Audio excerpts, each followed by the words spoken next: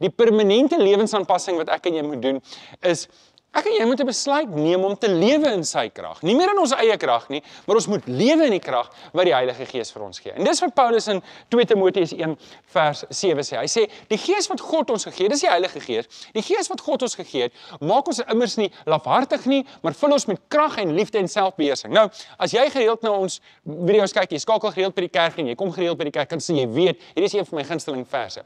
Nou, Hoor wat sê Paulus. Hy sê die gees wat God ons gegee het, maak ons nie lafhartig nie. Dit maak nie dat ons bangbroeke is nie. Dit maak nie dat ons onder die bed gaan wegkruip elke keer as 'n probleem kom nie. Jy kan regop staan. Weet jy, dalk is dinge in jou lewe nie soos presies soos wat jy dit wil hê nie. Dalk kyk jy na die lewensomstandighede, jy kyk na die Eskom situasie, jy kyk na die rentekoers situasie en jy is op die punt om te gaan wegkruip onder jou bed. Maar jy moet onthou, die gees wat God jou gegee het, maak juis dat jy kan staande bly in enige omstandigheid. Jy hoef nie te gaan wegkruip nie. Jy kan regop staan in jou lewe. Uh, hy sê, so hy vul ons nie met uh, met hy, hy maak ons nie lafhartig nie, maar hy vul ons met krag. En um, dis iets wat ons nie baie van het in Suid-Afrika nie, nê. Maar hy kom gee vir jou krag. Hy kom gee, hy stel jou in staat om te doen wat jy moet doen, wat hy wil hê jy moet doen op die dag wat jy dit moet doen. Met ander woorde, die Here gaan jou nie in die steek laat nie. Um en dis die wonderlike ding. Weet julle in die vroeë kerk was duisende gelowiges vervolg vir hulle geloof. En en natuurlik het hulle aanvanklik gevlug die hele wêreld in wanneer die evangelie so versprei, maar die ouens wat gevang is en deur Nero in die brand gesteek is, die getuienis loop dat dat selfs terwyl hulle brand, het hulle lofliedere gesing. Nou, hoe doen hulle dit? Hoe doen hulle dit? Ek probeer dink as as ek moet brand, al brand ek net my hand, dan skree ek. Maar daai mense het lofliedere gesing. Hoekom? Want die Heilige Gees het hulle bekragtig om 'n getuie te wees in daai in in daai omstandighede. En dit alles doen ons in liefde. Ons doen dit in liefde. Ons tree nie soos die wêreld op nie. Die wêreld raak kwaad en hulle as jy jy, jy hoef nie baie ver te kyk op uh, video's op YouTube om te sien hoeveel road rage daar buite is nie en hoe kwaad die mense is, hoe gefrustreerd die mense is nie. Maar ek en jy het nie dit nie. Ons het 'n ander gees as wat hierdie wêreld het. Ons het die gees van liefde. Ons het die gees wat wat kan lief hê al al kom jy my te na, al is jy lelik met my. Dit maak nie saak nie. Wat jy doen of nie doen nie, is nie my bron van my krag nie. Die Here Jesus is en hy het vir my die Heilige Gees gegee. En omdat ek die Heilige Gees het, ek heeltemal 'n nuwe bron. Wat jy doen of nie doen nie, is irrelevant.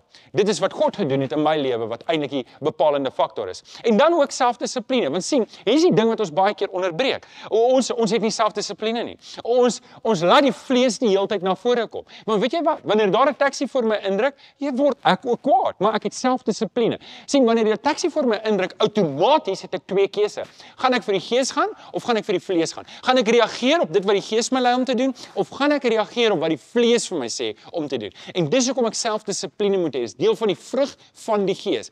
Ek moet nog steeds die keuse maak om te sê, goed, dis die pad van die Heilige Gees. Dis wat die woord van die Here sê ek moet nou doen. Dis hoe ek gaan optree. Ek is altyd in beheer van my gees, beheer van my verstand en ek kies om te sê om te doen wat die Heilige Gees sê. So per definisie as die Heilige Gees in my is, het ek 'n nuwe lewe. Ek kies 'n nuwe pad en ek lewe in oorwinning. Ek lewe nie meer soos iemand wat die hele tyd val en opstaan, val en opstaan, val en opstaan nie. Ek lewe nou in oorwinning. Ek lewe in oorwinning oor die vlees. Ek lewe oor oorwinning um in oorwinning oor my begeertes en oor my gewoontes en en ek lewe elke dag in oorwinning. Ek kan elke oggend opstaan en in oorwinning lewe. En dis nie 'n emosionele ding nie.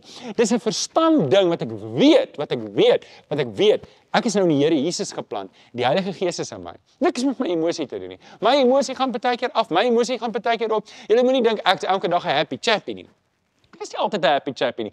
Maar ek weet ook dit dat my emosie bepaal niks van wat die Here sê nie. Ek kan nie eendag sê, jy moet Johannes 3 vers 16 sê want so lief het God die wêreld gehad. O, ek voel nou so goed hieroor, maar môre voel ek nie meer so goed nie. Nou is die vers nie waar nie. Die waarheid bly vas. Maak nie saak hoe ek voel nie en ek moet my gevoelens onder die waarheid bring en dis belangrik om te weet. So, hier's die hier's die bottom line en dit is ek en jy moet elke dag 'n klomp keuses uitvoer en ek moet doelbewus besluit om die Gees te volg. Dis 'n keuse wat ek en jy moet neem. Ek kan nie net sê Heilige Gees neem oor en nou gaan hy my oorneem en nou vir my die besluite neem.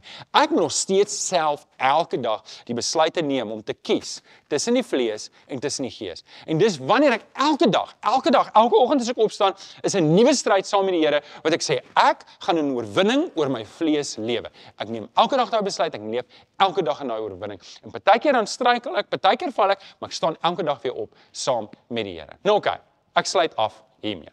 Ek sluit af hiermee. Efesiërs 5 vers 18 sê, moet julle nie aan drank te buite gaan nie. daarmee gaan ons bandigheid gepaard. Nee, laat die gees julle verval. Dis basies hierdie ding. Moenie agter die vlees aanloop nie.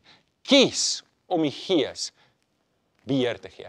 Kies om onder leiding van die Heilige Gees te leef. Kies daai pad. Moenie hierdie pad kies nie, kies die pad wat die Gees lei. Laat dit toe. Laat die Heilige Gees toe. Laat die Heilige Gees toe om elke dag deur en in jou te werk. Streef daarna om elke dag die Heilige Gees se krag uit te leef. En onthou, dis nie 'n emosionele ding nie. Dis nie 'n ding wat jy voel, "Ooh, nou het ek hoendervleis, nou is die Gees hier nie." Hoorie, jy kan hoendervleis kry tot môreoggend toe. Dit het niks met die Heilige Gees te doen nie. Dis 'n 'n 'n chemiese reaksie in jou liggaam. Die Gees kan in jou werk of jy geen hoendervleis en of jy baie hoendervleis kry nie. Dit het niks daarmee te doen nie. Moenie die werking van die Heilige Gees 'n emosionele ding doen nie. Maak dit 'n ding van die waarheid wat die woord sê. En dan soek daarna, soek daarna. Met ander woorde, stel jou hele lewe in om te sê ek gaan gehoorsaam wees aan die Heilige Gees. Hiermee wil ek afsluit. Ek wil afsluit met hierdie woorde in Judas 20 wat sê bid altyd deur die krag van die Heilige Gees. Ek wil vir jou bid. Ek wil vir die Here vra om jou te seën daar waar jy is en um, kom ons kom ons vra die Here om ons te help om ons vlees af te lê dat ons werklik in die Gees sal lewe.